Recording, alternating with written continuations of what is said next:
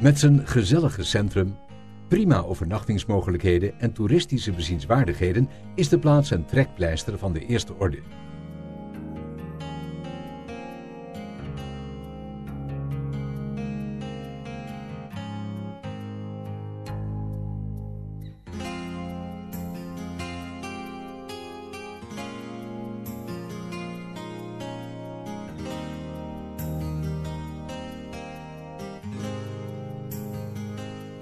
Putten heeft een rijke historie.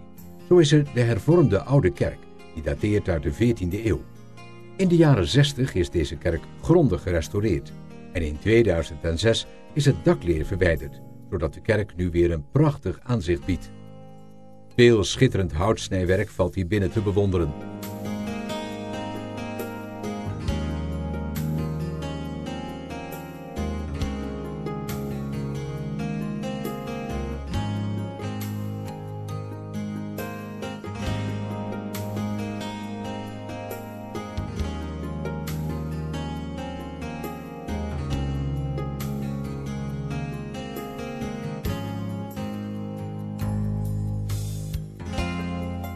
Tegenover de kerk staat nog een authentieke waterpomp.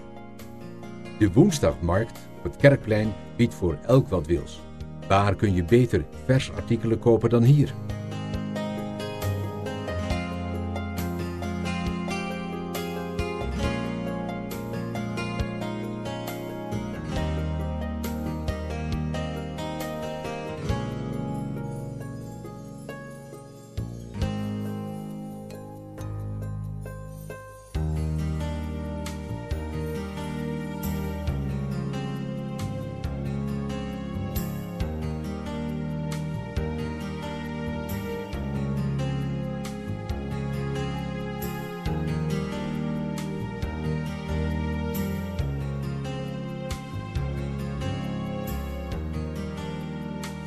In het logo van het gemeentehuis aan het Fontanusplein staat een springend hert, typerend voor een gemeenschap in beweging.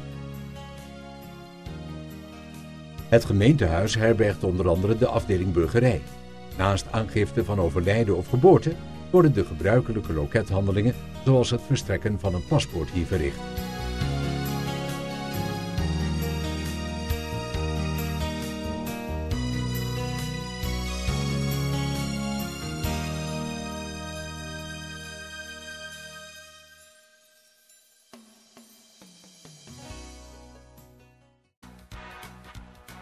De vrouw van Putten is de naam van het zandstenen beeld ontworpen door Marie Andriessen, dat op 1 oktober 1949 door onze toenmalige koningin Juliana onthuld werd ter nagedachtenis aan de razzia in de nacht van 1 op 2 oktober 1944.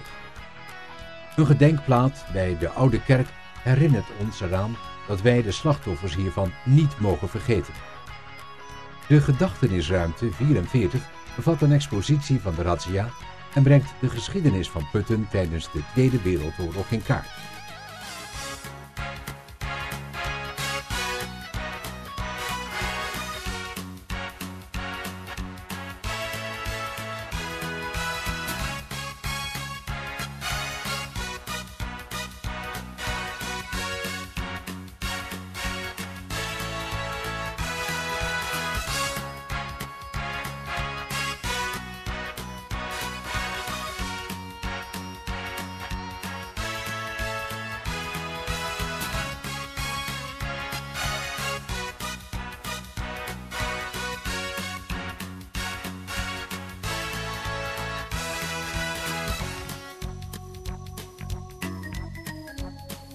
Bij de brug aan de Nijkerkerstraat vond de aanslag plaats die aanleiding gaf tot deze razzia.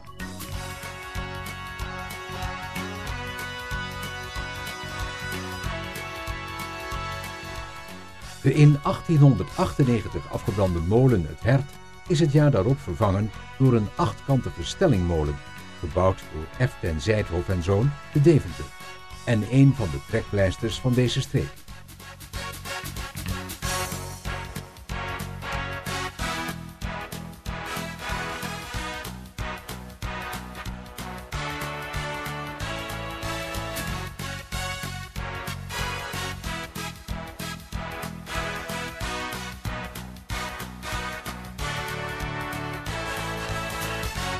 Onze tocht leidt verder naar het Putter stoomgemaal, dat jarenlang het water in de polder Arkemeen op peil hield, samen met het stoomgemaal Hertog.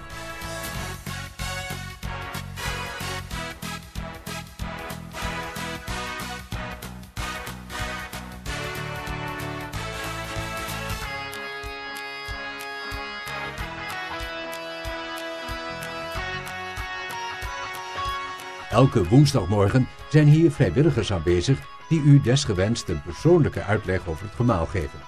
Tijdens de speciale maaldagen is het zelfs in werking te zien.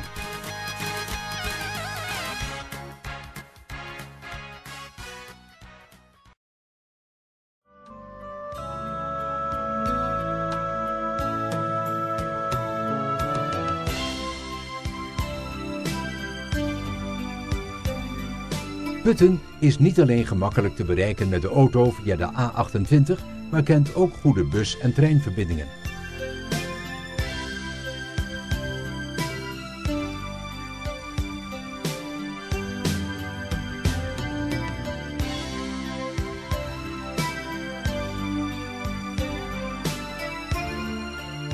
Het stationsgebouw heeft sinds de opening op 20 augustus 1863 al vele verbouwingen ondergaan. Zo werden in 1892 de platte vleugeldaken vervangen door de modernere gebroken daken.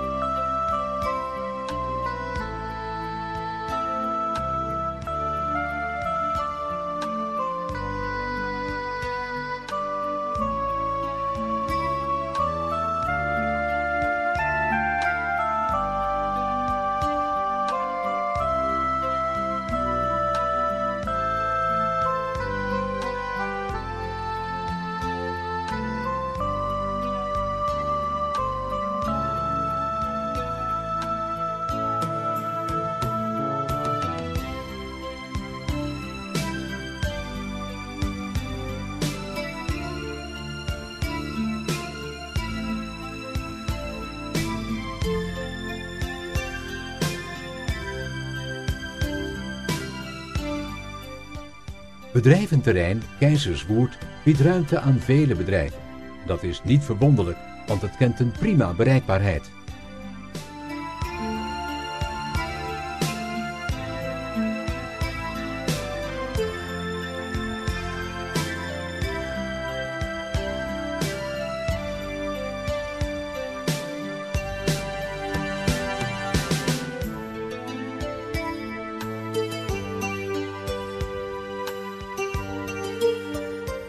Het is niet alleen historie wat de klok slaat.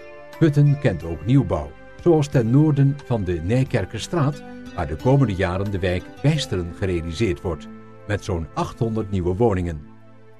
Putten heeft zoveel te bieden dat het terecht de parel van de Veluwe wordt genoemd.